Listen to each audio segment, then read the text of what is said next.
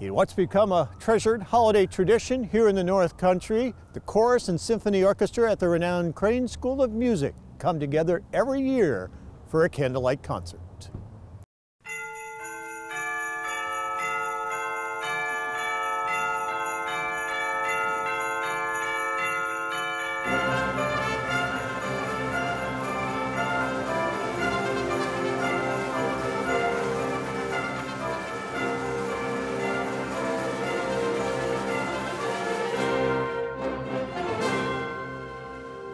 The holiday concert tradition began in the 1930s and has continued to grow in size and prestige over the years. And you can watch the 2023 Crane Candlelight Concert on Monday, December 18th at 9 p.m.